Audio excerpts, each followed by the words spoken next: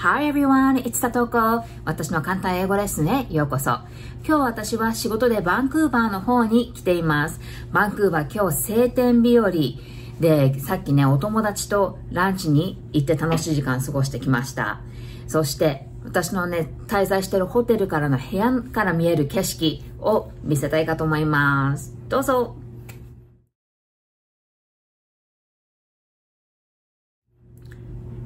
とね、バンクーバーこの水があって山があるとどっちもあるのがね、すごく素敵で、だと私は思って、まあ18年私もバンクーバー住んでたんですけれどもね。いや、何回見てもこの景色、ね、飽きないですよね。と、まあレッスン始めていきましょう。今日のレッスンは、英語でこちらこその言い方を紹介していきたいかと思います。このこちらこそってね、いろんなね、状況で実は使われる、ね、言葉なんですよね。Google の翻訳によると、こちらこそは You're welcome どういたしましてと書いてるんですけれども、私の中では、いや、You're welcome とそういう意味で使われる時もあるんですけれども、どっちかというと、いろんな状況によって、私たちは英語で言う言い方は違違ってくるなと思って、まあ、ね、今日はね、3つその状況をね、紹介していきながら、その状況に対しての言い方を紹介していきたいかと思います。まずはじめは、初めて会った人に。これはね、まあよくある会話ですよね。よろしくと言って、ね、言われた側は、こちらこそよろしく、みたいなね、そんな感じの言い方。まあ、よろしくは英語では、nice to meet you まあ、これは、はじめまして、みたいな感じの言い方ですけれども、nice to meet you これは聞いたことありますよね。そして、それに対して、B が、こちらこそよろしくと言いたいときは、なんかい、結構ね、4つぐらい言い方、今ね、書いたんですけれども、はじめの言い方は、ただ単に最後に to をつけて、nice to meet you too と言うと、こちらこそよろしく。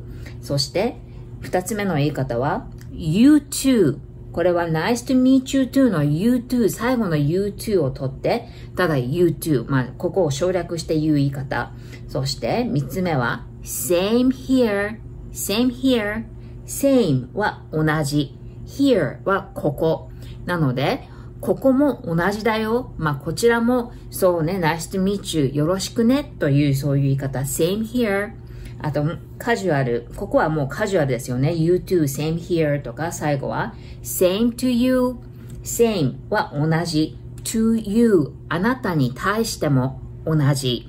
なので、まあこれは、すごくカジュアルな言い方の nice to meet you too の言い方です。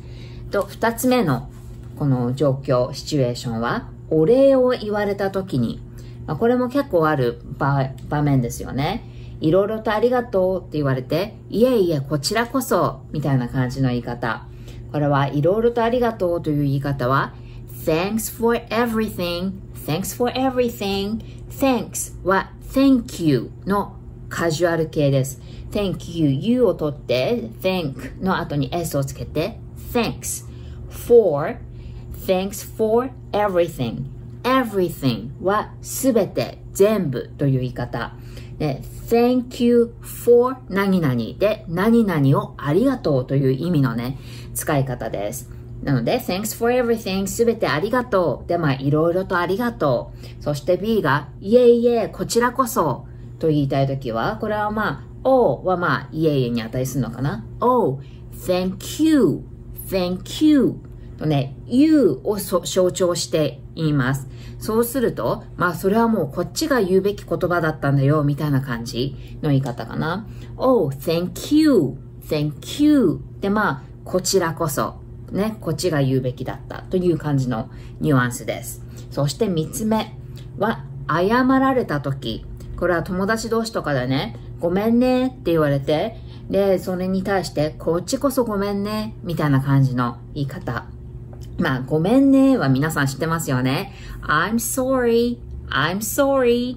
そしてそれに対してこっちこそごめんねというのは I'm sorry too.